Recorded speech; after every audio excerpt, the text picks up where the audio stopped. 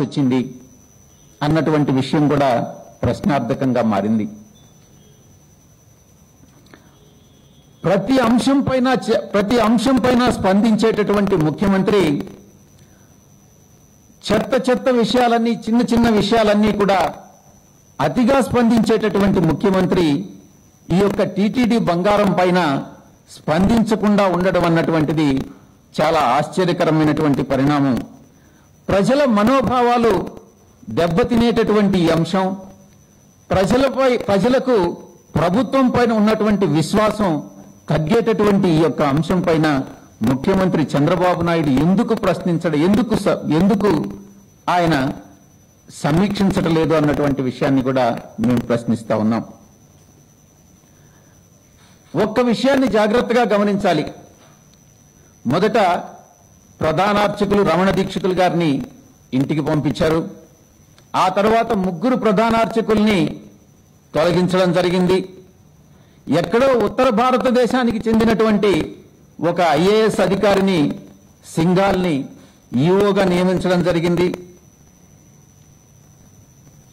ఆ తర్వాత తన స్వంత పార్టీకి చెందినటువంటి యనమల రామకృష్ణుడు గారి వియంకుణ్ణి టీటీడీ బోర్డు చైర్మన్గా నియమించడం జరిగింది.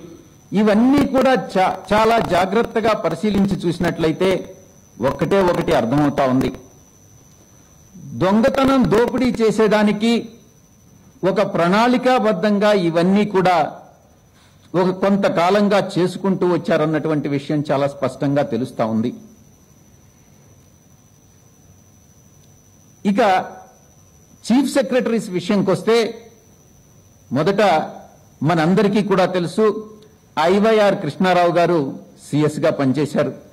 ఆ తరువాత టక్కర్ని సిఎస్గా తీసుకున్నారు. ఆ తరువాత అజయ్ కల్లాం గారు కొంతకాలం సిఎస్గా పనిచేశారు అద్భుతంగా పనిచేశారు. ఆ తరువాత ఎల్వి సుబ్రహ్మణ్యం గారిని పక్కన పెట్టి పునేటాని సిఎస్గా నియమించడం జరిగింది. ఆ తర్వాత ఎలక్షన్ కమిషన్ ఇన్వాల్వ్ అయ్యి పునేటాని తొలగించి ఎల్వి సుబ్రహ్మణ్యం గారిని సిఎస్గా నియమ నియామకం చేయడం జరిగింది. చంద్రబాబు పరిపాలనలో ఈ రోజు వరకు మొత్తం ఐదుగురు చీఫ్ సెక్రటరీలుగా పనిచేసినటువంటి వాళ్ళల్లో ముగ్గురు చంద్రబాబు పనితీరుని చాలా తీవ్రంగా తప్పుపట్టడం జరిగింది. ఇద్దరు మాత్రమే వారికి సరెండర్ అయి వారికి అనుకూలంగా ప్రవర్తించడం నడుచుకోవడం జరిగింది. టీటీడీ ఈఓ సింగాల్కి నియా నియామకానికి మధ్య ఉన్నటువంటి టీ- సంబంధాన్ని ఈ రాష్ట్ర ప్రజలు చాలా సులభంగా అర్థం చేసుకోవచ్చు. రాష్ట్ర ప్రభుత్వం ముఖ్యంగా రా- రాష్ట్ర ప్రభుత్వం అని చెప్తున్నాను. ఎందుకంటే ఎల్వి సుబ్రహ్మణ్యం గారు చీఫ్ సెక్రటరీ గారు ఒక మన్ ఒక విచారణాధికారిని మన్మోహన్ సింగ్ గారిని నియమించడం జరిగింది. ఆయన నివేదికను ఇంకా సమర్పించలేదనుకుంటాను. ఆయన విచారణ పూర్తి చేయడం జరిగింది. ఆ విచారణ నివేదికను పూర్తిగా బయట పెట్టాలని మేము డిమాండ్ చేస్తా ఉన్నాం.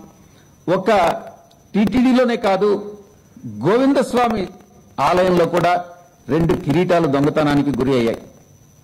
నేను మొదటి నుంచే చెప్తా ఉన్నాను. దేవాలయాల ఆస్తులన్నీ కూడా దొంగల పాలవుతా ఉన్నాయి అన్నటువంటి విషయాన్ని ఎవరో ఇద్దరు జేబు దొంగల్ని పట్టుకొని ఈ జేబు దొంగలే ఈ యొక్క కిరీటాలని దొంగతనం చేశారనని మభ్యపెట్టేటటువంటి ప్రయత్నం జరుగుతా ఉంది. ఇంకా కూడా ఇంకొంచెం కాస్త ముందుకెళ్ళి ఈ కిరీటాలను కరిగించేశారు.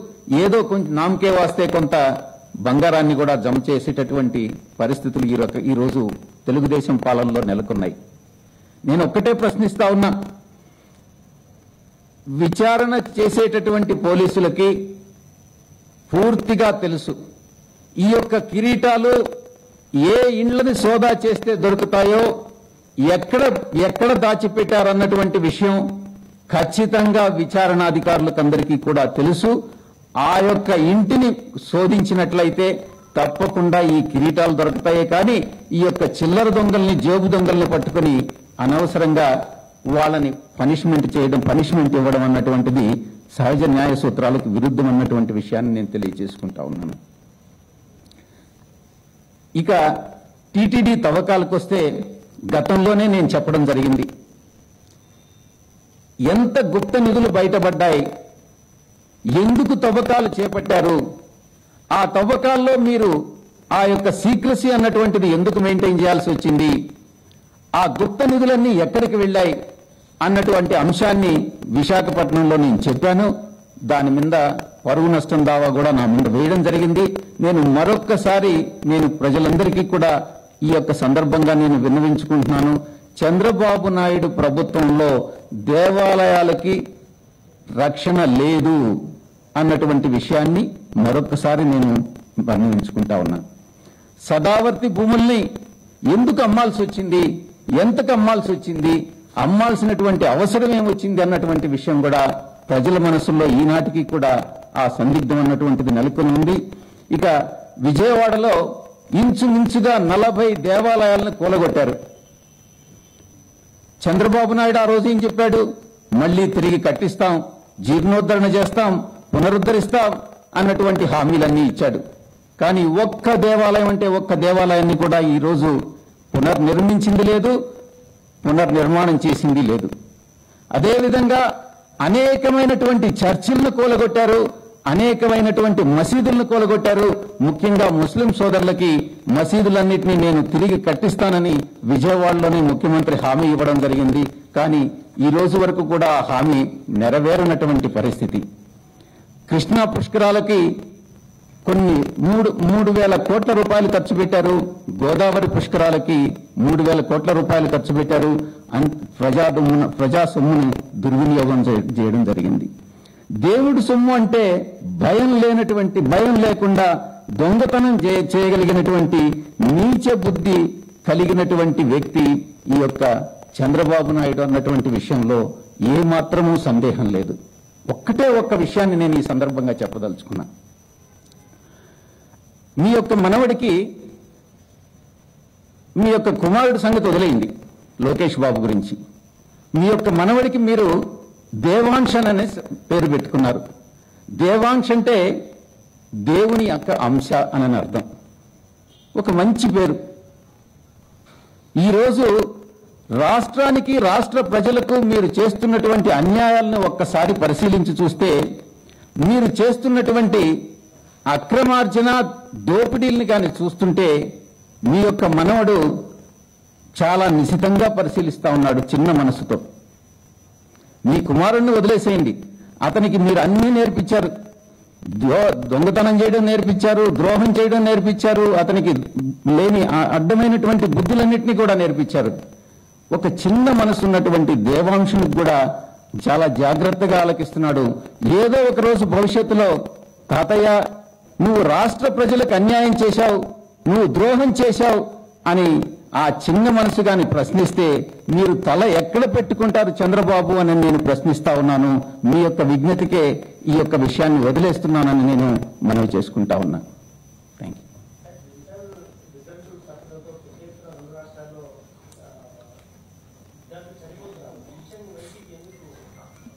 వినపట్ల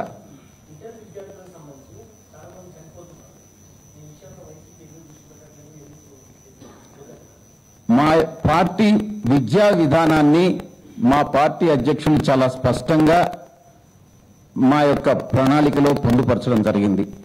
అధికారంలోకి వచ్చిన తర్వాత అన్ని అంశాలు మా పార్టీ అధ్యక్షులు వివిధ సమావేశాల్లో ఏం చెప్పారో ఆ తర్వాత మేనిఫెస్టోలో ఏం చెప్పారో వాటినన్నిటినీ కూడా తూచా తప్పకుండా అమలు చేయడం జరుగుతుంది. మీ అందరికీ కూడా తెలుసు విద్యా విధానంలో ఎవరికి ఎంత ఏ క్లాస్ విద్యార్థులకి ఎంత ఇస్తాము వారి సమస్యలను ఎలా పరిష్కరిస్తాం? వా- హాస్టల్ విషయంలో కానీ ఫీజుల విషయంలో కానీ పరీక్షల విషయంలో కానీ మా పార్టీ విధా విధి విధానాలని మేము ఆల్రెడీ తెలియజెప్పడం జరిగింది.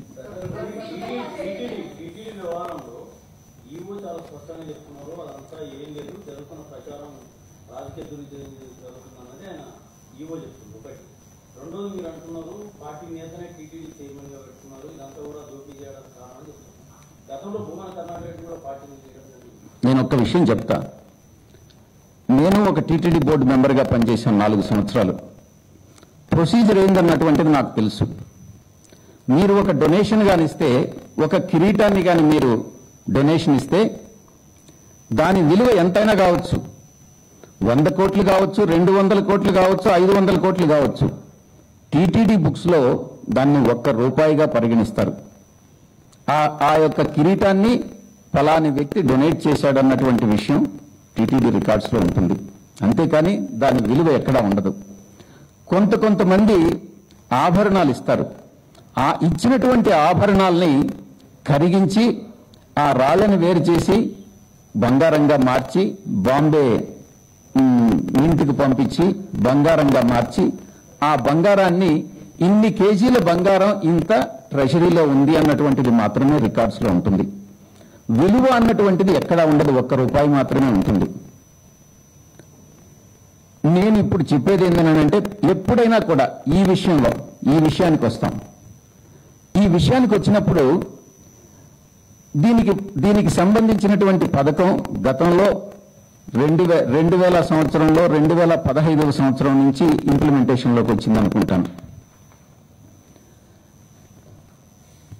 ఆ రెండు వేల పదకొండు రెండు అప్పటి నుంచి ఒక సంవత్సరం బాండ్స్ రెండు సంవత్సరాల బాండ్స్ మూడు సంవత్సరాల గోల్డ్ బాండ్స్ ఆ దాన్ని బట్టి ఇంట్రెస్ట్ రేట్ కూడా ఉంటుంది.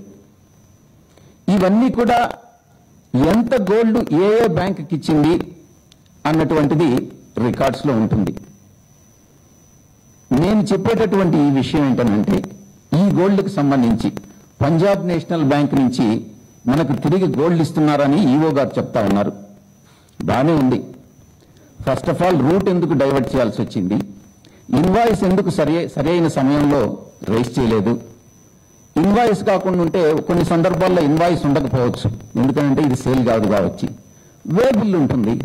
వే బిల్ ఎందుకు లేదు? టీటీడీ అఫీషియల్స్ ఎందుకు వాహనాన్ని అకంపెనీ చేయలేదు?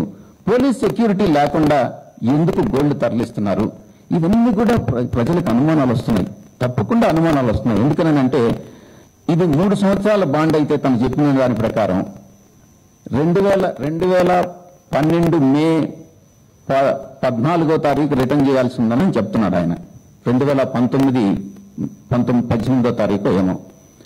అంటే ఇది మూడు సంవత్సరాల బాండ్ అయితే మూడు సంవత్సరాల క్రితం ఇది రికార్డ్స్లో ఫలాని పంజాబ్ నేషనల్ బ్యాంక్కి ఈ యొక్క బాండ్స్ని ఈ యొక్క గోల్డ్ ఇచ్చి బాండ్స్ని తీసుకొని ఉండాలి.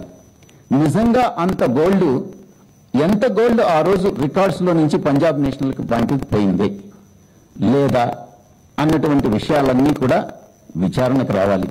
ఇవన్నీ తెలియకుండా ఈవో మొట్టమొదటిగా మాకు ది గోల్డ్కి టీటీడీకి సంబంధం లేదు అని అని ఒక స్టేట్మెంట్ ఇచ్చారు. తర్వాత మళ్ళీ ఇంకొక రోజులోనే లేదు లేదు ఇది టీటీడీ గోల్డేనని చెప్పి చెప్తా ఉన్నారు. దీని ముందు అనేక సందేహాలు ఉన్నాయి. ముఖ్యంగా పరిపాలించేటటువంటి వ్యక్తి ఆ యొక్క మనస్తత్వం కలిగినటువంటి వ్యక్తి దొంగతనానికి దోపిడీకి అలవాటు పడినటువంటి వ్యక్తి. కాబట్టే ఈ యొక్క అనుమానాలన్నీ దీనిలో ఏ సందేహము లేదు. మొత్తం నిండా చాలా చాలా గోల్డ్ కానీ ఆభరణాలు కానీ నిధులు కానీ దోచుకోవడం జరిగింది వివిధ రకాలుగా. అందుకే మేము మా ఆరోపణ అంతా కూడా మీరందరూ కూడా అడిగారు. అసలు రాష్ట్ర బడ్జెటే ఐదు లక్షల కోట్లు లేదే ఐదు సంవత్సరాలకి. ఐదు లక్షల ఐదున్నర లక్ష కోట్లు ఎట్ట దోచుకున్నారనని. బడ్జెట్లో ఉన్నదే దోచుకోవాల్సిన అవసరం లేదు. నాన్ బడ్జెట్లో లేనటువంటివి చాలా ఉంటాయి. అవన్నీ దోచుకొని ఈరోజు హవాలా రూపంలో నేను మళ్ళీ రేపు కానీ మళ్ళీ రాబోయేటటువంటి వారం రోజుల్లో ఏ రకంగా ఎంత దోపిడీ అన్నటువంటిది రాష్ట్ర ఖజానా నుంచి జరిగింది ఆ దోచుకునే దానికి ఎవరు తోడ్పడ్డారు దీంట్లో ఏ కలెక్టర్ ఏ పాత్ర నిర్వహించారన్నటువంటి విషయం కూడా నేను మీ అందరికీ ఈరోజు నేను నేమ్ పేరు చెప్పదలుచుకోలేదు.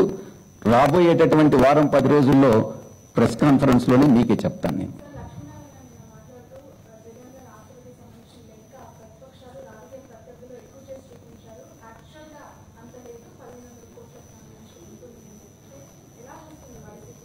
మొట్టమొదటి నుంచి కూడా మేము ఒక్కటే చెప్తా ఉన్నాం. ఏ చట్ మేము ఏది చేసినా కూడా చట్ట పరిధిలో చేశాం. చట్టానికి వ్యతిరేకంగా చట్టాన్ని వైలేట్ చేస్తూ ఏ విధమైనటువంటి ఒక్క ట్రాన్సాక్షన్ కూడా నడపలేదు అన్నటువంటిది. కానీ చంద్రబాబు నాయుడు తన స్వార్థ రాజకీయ ప్రయోజనాల కోసంగా లక్ష కోట్లు లక్ష కోట్లు అన్నటువంటి దుష్ప్రచారాన్ని కాంగ్రెస్ పార్టీ సహకారంతో చేయడం జరిగింది. మేము మొట్టమొదటి నుంచి ఒకటే.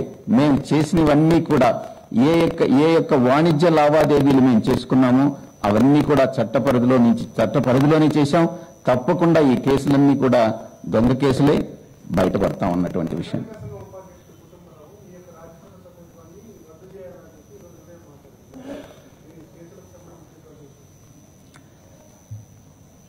ఇప్పుడు నేను ఒక చార్టెడ్ అకౌంటెంట్. ఆయన కూడా ఒక chartered accountant. Chartered accountant chartered accountant అని కూడా అంటారు. స్టాక్ బ్రోకర్ని స్టాక్ బ్రోకర్ అనే కదా అంటారు. లేకుంటే వేరే ఇంకేదైనా పేరు మీరు ఏదైనా నేనైనా మార్చగలమా? నేను నేను స్టాక్ బ్రోకర్ అనే అన్నా. దాంట్లో తప్పేంటో నాకైతే ఇప్పటికీ అర్థం కావట్లేదు. స్టాక్ బ్రోకర్ స్టాక్ బ్రోకరే. ఆయన చార్టెడ్ అకౌంటెంటే నేను చార్టెడ్ అకౌంటెంటే. ఆయన పొలిటీషియన్ని నేను పొలిటీషియన్ని. నేను ఉన్నది వాస్తవాన్ని ఏదైతే వివరిస్తే ఆయన దాన్ని తప్పుగా అర్థం చేసుకుంటే అది ఆయన విజ్ఞతకే వదిలేస్తా ఉన్నాను నేను. నాకైతే ఏం తప్పు అనిపించట్లేదు రాష్ట్ర ఆర్థిక పరిస్థితి గురించి నేను ఇచ్చినటువంటి వివరణ వాస్తవం నిజం. దాంట్లో ఎటువంటి అబద్ధాలు లేవు. ఆర్థిక మంత్రి గారు ఒకటి చెప్తారు ప్రణాళికా సంఘం ఉపాధ్యక్షులు ఒకటి చెప్తారు బ్రోకర్ గారు. దాంట్లో నా నేను చెప్పిన దాంట్లో అవాస్తవాలు ఏం లేవు. ఆయన చెప్ మీరు ఆర్థిక మంత్రి గారిని అడగండి. కన్ఫర్మ్ చేస్తారు.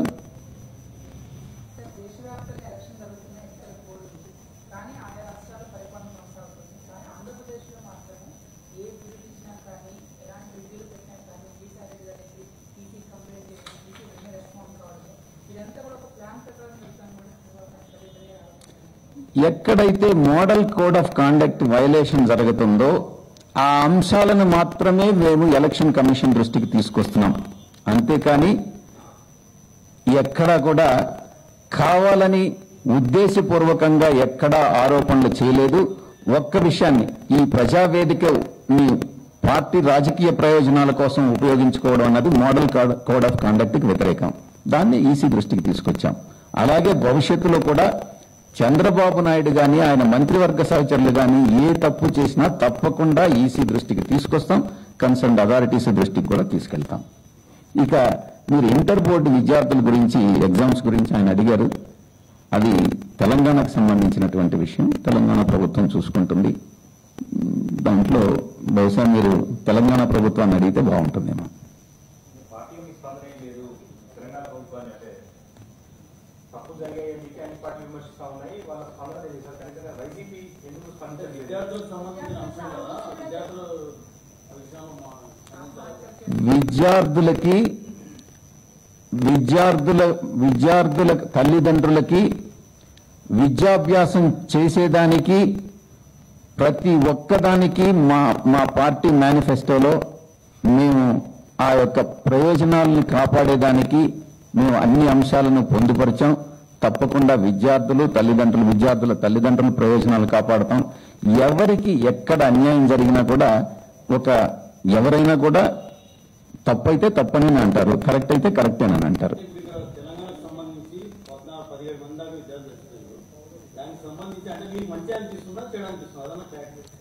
ఇప్పుడు మీరు ఒక స్పెసిఫిక్గా ఒక అంశాన్ని గురించి దానిలో ఇంకా విచారణ పూర్తయిందని నాకు తెలియదు దానిలో నిజా నిజాలు ఏందని అనేది నాకు తెలియదు నిజా నిజాలు తెలియకుండా ఒక అంశం మీద నా యొక్క నన్ను వ్యాఖ్యానించమంటే వ్యాఖ్యానించడం సమంజసం కాదేమో అని నా ఉద్దేశం.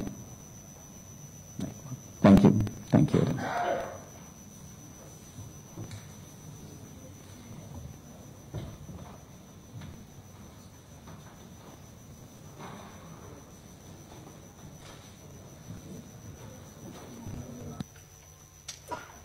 ఏంటండి? వీడియో నచ్చిందా? అయితే ఓ లైక్ వేసుకోండి. లేదంటే ఓ కామెంట్ చేయండి. ఎప్పటికప్పుడు మా వీడియోస్ చూడాలంటే సబ్స్క్రైబ్ చేసుకోండి.